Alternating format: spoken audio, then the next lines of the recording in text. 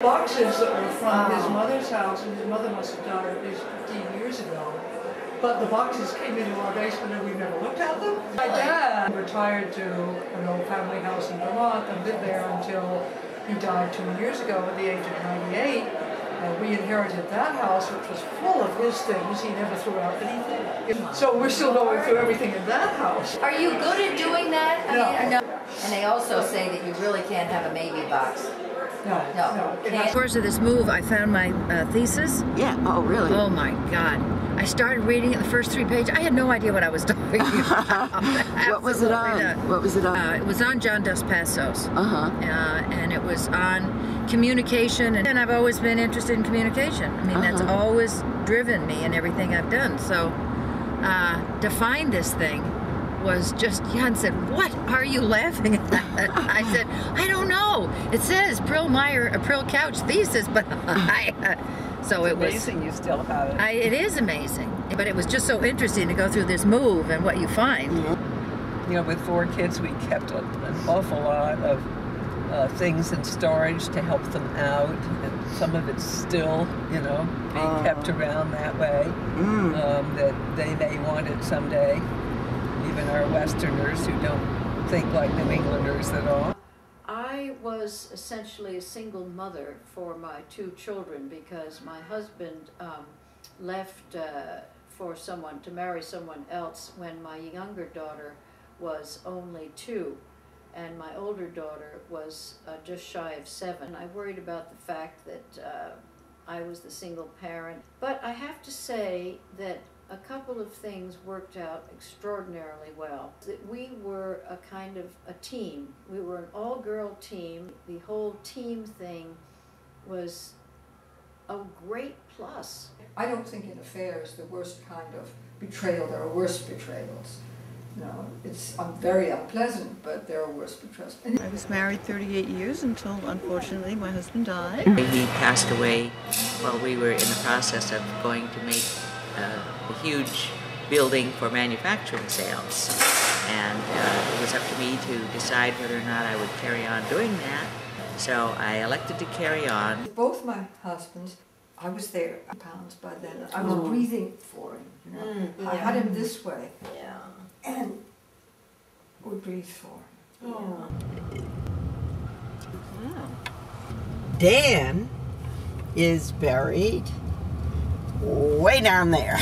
I crawled into bed with them Yes, and held them. yes, And- yes. And I wish, like anything, I had done this in, in that hospital room with Larry, because, but they had these rails up on either side of it. Yeah. Why didn't I, those last few days, pull down the damn rail and get into bed and hold him and say, Yes. come on, let's snuggle, honey? Yes. What? I spent several nights uh, sitting by Larry's bed, because pretty soon he was in a sort of a coma, you know? Yeah. And I don't think he could hear me. I didn't know. I didn't know. The nurse said, listen, Hope, go home.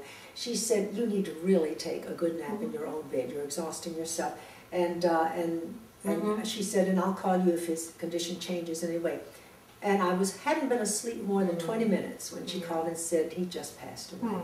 And I went back and cried and cried. I said, I wasn't here. She said, he knew that. They wait for you to they, go. They, wait for you to go. Said, you know what else is, is was sad to me? I never talked frankly about impending death with Larry ever. I did the Greek thing. We let you sit up and I'll bring you such and such to eat and so on. You know, we do this, knowing full well that the person is going to die.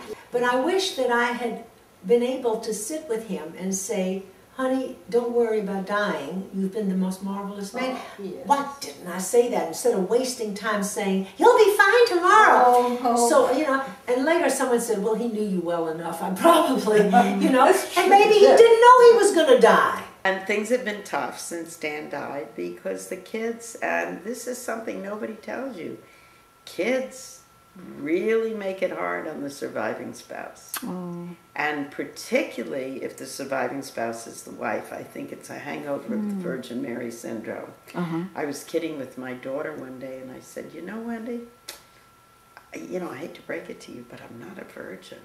She didn't think it was funny. I thought it was oh. hilarious. Hmm.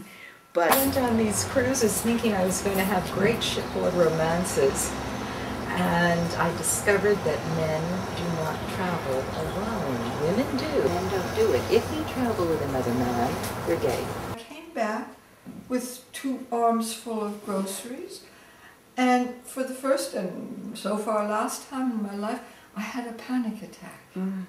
And the you know, I was dizzy and palpitating. And I thought, what is why? And I realized that what was happening was that for the first time, I had brought back groceries to feed only myself. Oh, Only myself. And that I was now having to be just me with myself. Mm. It was hard because that I was defining myself in terms of my usefulness to somebody else or mm-hmm. preciousness to somebody else. And it got worse and worse, and finally I installed lots of mirrors in my house mm. because I realized that I thought that there was nobody there. Uh-huh. So by putting up some mirrors, I could see that there was somebody. Hmm. And it made me feel much better. Hmm. Now, what about your love life? I don't have time. I'm too tired. It takes energy. My Yeah. energy is all in my work.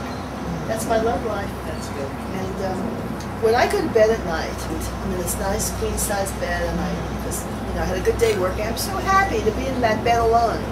It's it's a great sense of freedom. I'm not tied to anything. Just keep